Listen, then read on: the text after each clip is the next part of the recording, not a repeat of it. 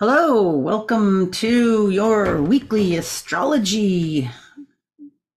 What we call it transits, weather. I was going to say weather. It's kind of a weather, report, but it's like a transit. So um, let's dive right in. All right, we're gonna. I'm gonna go to yesterday because yesterday um, the sun. We're looking at our our uh, chart here. The biggest change: the sun moved, changed signs, moved into Pisces yesterday it's on the the 19th. And you know, we have a leap year this month, you know, leap day, leap year. So we'll have one more day of um, February.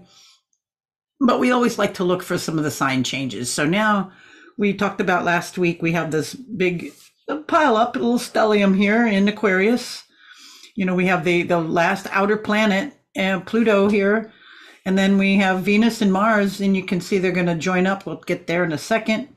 And then Mercury is heading toward the end of it, and we have the Sun that was right at the end, and now it just moved into Pisces. So Pisces, you know, we're we changing signs, and each sign is so different than the next. It's almost like the opposite of the one before. So we go from that Aquarius. Um, uh, it's kind of like it's not a a I'm going to take one for the team. It's like I'm just going to excuse myself while I go work on things for humanity. Kind of kind of a an energy of egalitarian, far removed, um, doing it differently. It's not the status quo. It's like the new status quo. So we're going from a lot of that with the you know one outer planet and and the, the three you know inner ones closest to the sun and now the sun is moving to much more of the, you know, it's moving into that realm of Pisces, of feeling, of compassion, the ultimate ocean, disassociating, blending in, not fighting, not resisting the flow. So, that being said, let's move to today. And we see we have a few changes this week. Today, well, actually, the last couple days of yesterday, you know, early yesterday, we had the moon like to just highlight this as much as I can, just to get a little reflection of where the moon is. So, moon's in Cancer today, moon's in Cancer yesterday and today, and it's going to be moving through Leo, Virgo, and uh, Libra this week. So, we're into those um, more other oriented signs, would you say? But anyway, the moon is in Cancer, so a lot more feeling. It's in its home place. It's, you know, we'll probably be a little bit more compassionate, a little more patience, understanding, or at least we should. Maybe if you got enough sleep the night before. But it's just a much more feeling feeling sign. You know, for two and a half days, we could be a little bit more feeling oriented. So that's that's happening there. But then we also have, as we know, we have this grouping here, what I've said several times already in Aquarius. So when the moon moves into Leo, we're going to oppose all of that. So I'm just kind of setting up the stage a little bit because sometimes the moon, you know, we've got the the moon is maybe the the main oh, maybe the main player this week, although we do have some sign changes. You know, we had um, you know, you see the sun and you could say Mercury is going to be just a few days before that changes signs. But look at here now today. Look at here. we have our uh, we have um, Venus and Mars meeting up. They're not you know at, at, at this point they're not exact by the minutes, but it, it'll get there. But the lovers and you know the Venus Mars meeting up. Um, but they're not in like the most lovey sign. This is in in Aquarius, and we were just talking about Aquarius. You know, it's it's ruled by Saturn it's you know I go by the older rulerships. You know, modern rulership we put we throw Uranus in there, and that's that's that's just equally as upsetting, if not more so. But um, both Saturn ruled signs, Capricorn and Aquarius. They're both cold and dry, so you know it'll kick up symptoms of you know um, dehydration, um, cold uh, lack of mucus or extra thick mucus because we're not hydrating that mucous membranes.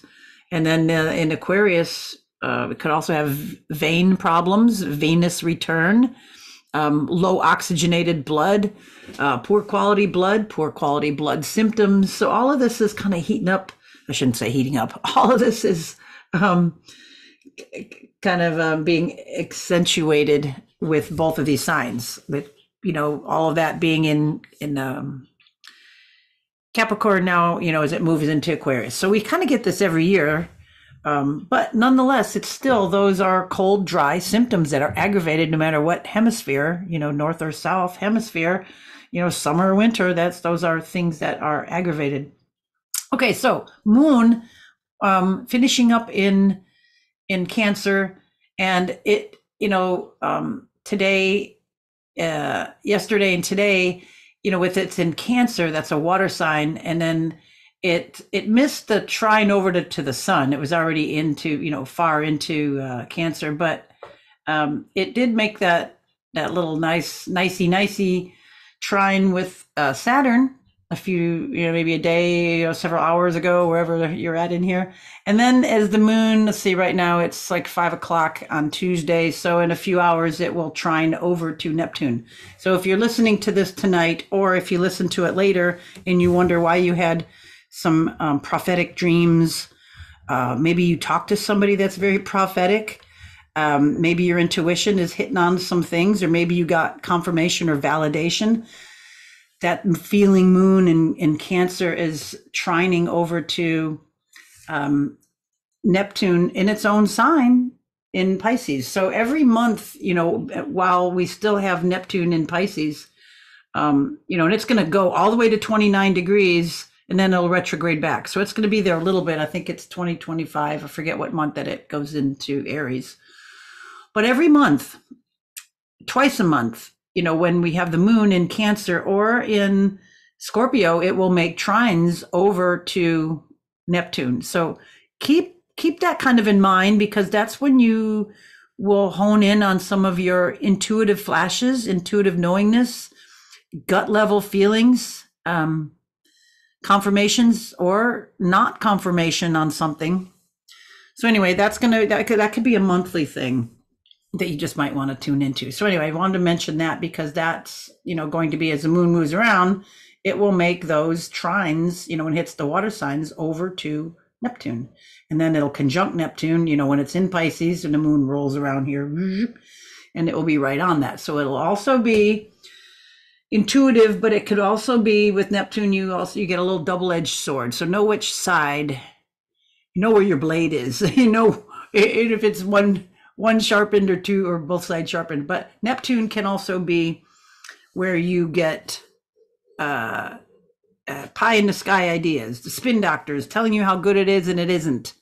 Um, it could be nebulous. It could be uh, tricking you. It could be um, not the right information that you're getting and it, don't just use your your you know your feelings. I mean you get a gut feeling but just check it with some logic or with a few other sources.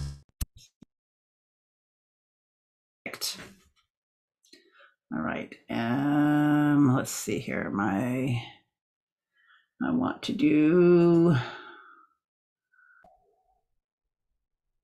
sorry my microphone just decided to switch. I hope it didn't um make the sound any bit any different or weird. I apologize if it did.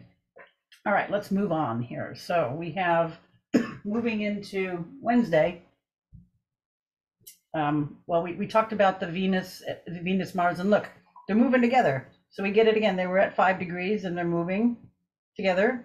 so we'll have this little effect for a couple of days. So uh, what else with this that I wanted to tell you about? Let me look my notes. Um, well, it could be very creative. You know, we could have a, you know, with with Venus and Mars together in Aquarius, it could help bring out more creativity um, without being sidetracked into emotional drama or love drama. Maybe it's like, uh, again, it's not a very sexy feeling, touchy feeling kind of sign. So this energy will be more into Aquarian things. You know, what's good for all. Um, how how do I put order in in something? How how can I you know use my creativity? How can I you know focus that drive Mars energy into this creativeness of Venus, but it's in more idealistic than pas than, than like passionate areas. I don't know if that that says exactly, but it um, it, will you, you, it'll, it's more of a thinking than it is a feeling uh, coming together. You know, it's just kind of a, an odd one, but um, use it like we can. Use whatever we can there. Okay, so now we have the moon moving into Leo, and it's going to be, you know, as soon as it moved in, it, it had to to oppose Pluto, and we can see here it's just going to start to oppose Venus and Mars. So there could be a little, oh, it, it, it could be slightly odd, a little bit of like um, Leo Moon wants attention, wants to be gregarious and pay attention to me. I'm on stage, but you guys are over there thinking through something and you're not paying attention to me kind of energy.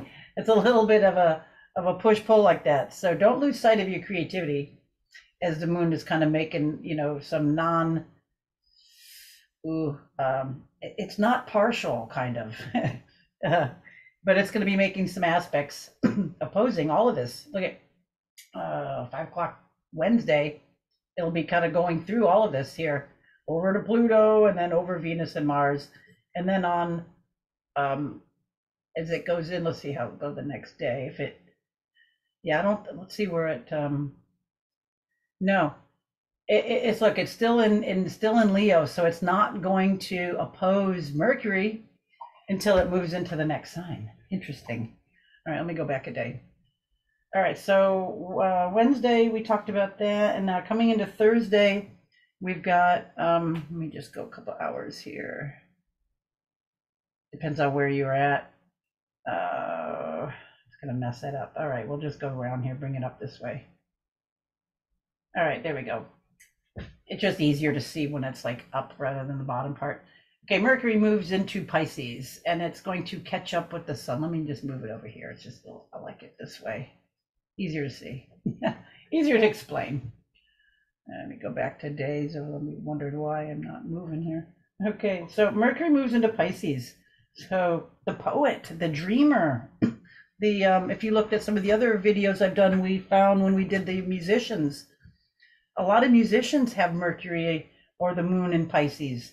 It's like you know, with with um, Mercury in Pisces, it's like a think feel because Mercury's like you know thinking and communicating, but with Pisces, it's a feel, it's a feeling. Drummers, I think we saw a lot of drummers with uh, you know Mercury and Pisces. You know, so they feel that they, they don't have to think about it. They're constantly doing one and two and one and two in their heads. They don't even have to think about it. They're, it's just it's just going that one and two and mm, and down. One, and, you know, it's like going on inside of them or they're tapping their foot. They don't even know it. You know, it's like um, they're just feeling that. Or the poet, you know, writing poetry or dreamer or dreaming things. But this is going to be a little bit more of a practical. This is bringing it more into practicality um, here. I'll look at the moon in a second. So on Friday, you know, we've got this moving in. Um, we've had the, so now look at here. We're getting this little pile up now of Pisces. Look at that. We're still got these this group, we've got two groups here. We got we got the, the Aquarians and the Pisceans. we still have this Aquarius stuff here. And then look at the Venus and Mars are moving along. They were what, five degrees when they moved in? Six, seven, eight before they start to pull away. Let's see if it goes to nine. No, Venus moves ahead. So you saw, let me go back. You saw Venus go. Okay, see, so here today on Tuesday, you see Venus here five degrees and it's the it's behind Mars. See, because this is you can see Mars is the higher degree. They're both five, but you see Mars is at 48 and Venus is at five minutes. So when I go ahead a day, you'll see it, they both moved together. Venus is still behind Mars, and then here Venus goes over Mars, and they're moving, still moving together, but Venus has got a little faster orbit um, which we know is she's got the faster orbit because it's closer to the sun. Takes her about three quarters of a year to go around the sun, where it takes Mars two years. So here we go on Thursday. They're still lined up, and then there they are Friday, and then Venus pulls ahead. See it. But anyway, let's go back here. So we've got this little group in this creative energy and now we get the feeling coming in. So this is very interesting. We're going to end this this month very kind of some in, interesting lineups right here. This is what you're going to see perfect. Mercury the sun and saturn. Now right now on friday as we're coming into the full moon. Um what time is it uh the moon will move like five degrees virgo actually let me let me line it up so we can see that. Uh, no, let me just, let me talk about this first, because it's gonna move to a different time. All right, sorry. Um, the sun, the sun here is like at the midpoint between Mercury and Saturn. So it's like halfway between them. It's like, you know, it'd be four and a half degrees, right? It's halfway between zero and nine, you know, four and a half, four and four is eight, half, half is nine. Okay. So right here, it's like right in the middle of that. Well, we haven't talked a lot about midpoints, but it's kind of a stressful point. We've talked about planets in the bends, you know, when they're, you know, like a, the, the moon nodes and you got something, you know, squaring it, you know, it's in the bends there. Well, it's right in the middle and it's kind of a stress point. So the sun is here and we've got Mercury communicative, blah, blah, blah, blah, blah, blah on one side, Saturn on the other. So here's the sun. It's got a two year old on one side and the aging father on the other just to kind of give you something going on. So the two year old's just squawking and yelling and blah, blah, blah, blah, blah, and then dad is forgetting and, you know, doing different things here. So it's kind of a stressful place for the son, but it's very compassionate. So we have this compassionate energy, and then all of this stuff is going to get closer to Neptune. But what's going to be interesting is there's going to be exact alignment with all of these three players is right at the end of the month. I'll show it to you today. We'll come to it next week and we'll see it exactly, but we'll prep you a little bit. But what is this energy? This is communications. It's vitality, the sun, you know, the vital force. It's Saturn, um, structure and order. Communicate vitality with some structure. Put structure um, into vitality and communicate it. Um, make communication, make structured communication vital. So, however, we want to play with these words, this is what's happening. And the tone is a Piscean tone. Okay, so it's like we, we put the outfit of Mother Teresa on this, we put the compassionate robes on all of this. It's not just random communication about structure and order, it's it's a much more compassionate uh, structure and order. I think, and uh, if we look at a mundane astrology at the globe at right now, the world is waking up to all the shenanigans, people in very high places that do not relate with you and me have been making decisions for us. And the people, the populace are rising up and uh, figuring it out and starting to do things about it. Um, there's a lot of things going on that I'm not going to really talk about because they'll yank me off of YouTube. But um, there's a lot of other people that that are talking about stuff. But I'll just stick with the astrology. But the world is waking up to a lot of the shenanigans and a lot of the wool that's been pulled over our eyes for way too long. And when we're getting some of these alignments, we get some pretty keen days of things happening. So check this out. Um, Oh, let's just stay here for a second because I want to get to the full moon. Let's get to the full moon. Do, do, there we go. All right, so looky here. Looky here. Um, it's like late, it's uh like late Friday or Saturday when when we have that. Uh, it's like seven in the morning here. But we can see the moon and the, the sun and the moon opposing. Whenever the moon is opposite of the sun, it's full because the sun is shining its light over there. When it's when the moon is next to the sun, it's it's being hidden. You can't see it. Like right now, we can't see Mercury because it's being um, the the sun is too intense. Even right before sunrise, you know, it's two degrees ahead of, but it's still the sun is way too bright to even see the little teeny spark of Mercury before the sun would rise. I, you probably can't even see the, the Venus and Mars either. It's still too close to the sun.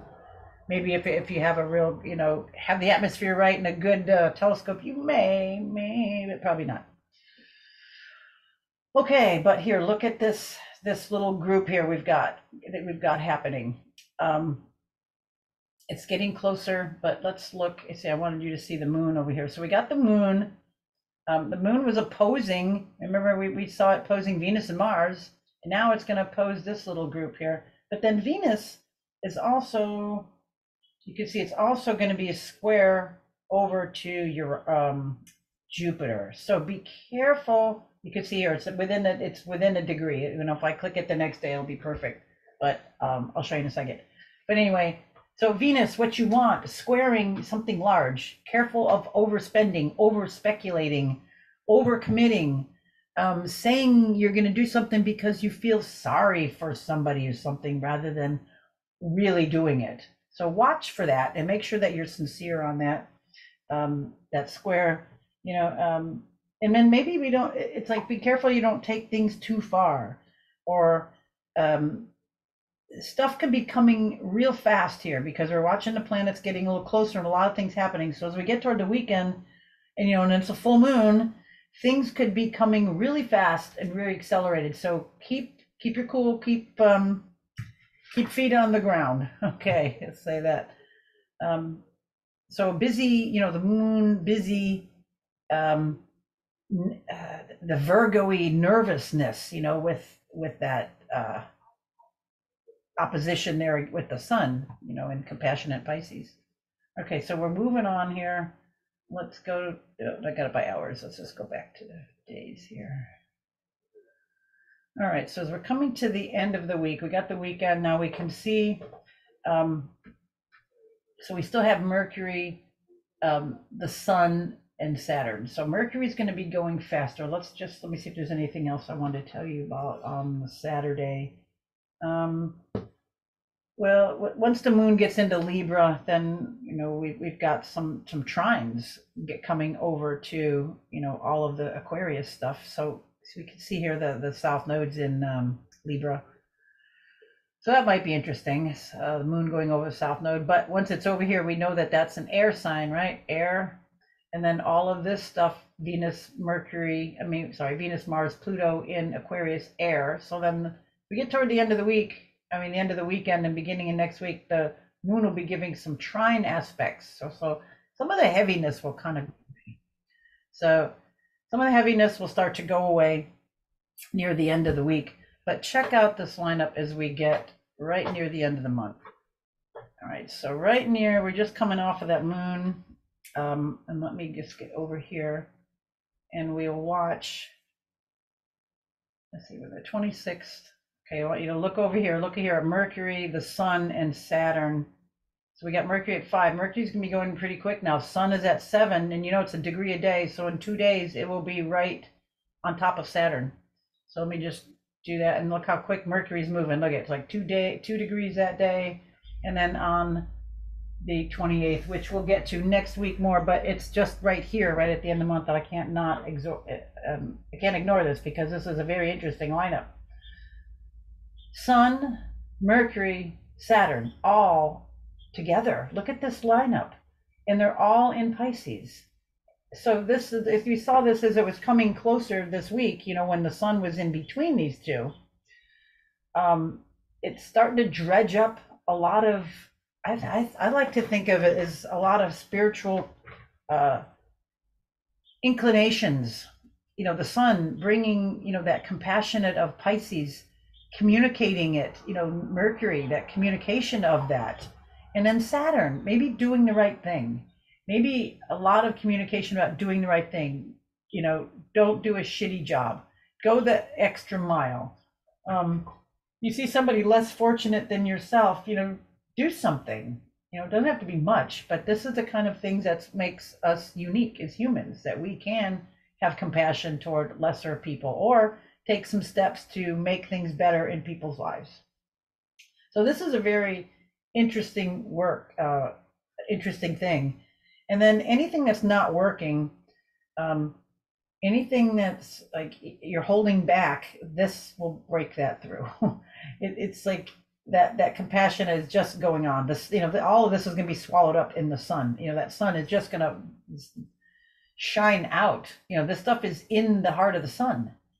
Um, and and it's they're all heading toward you know they're everything's heading know, toward this you know compassion moving toward that um, that higher consciousness. Let's just put it that way. Neptune in in in pisces in compassion.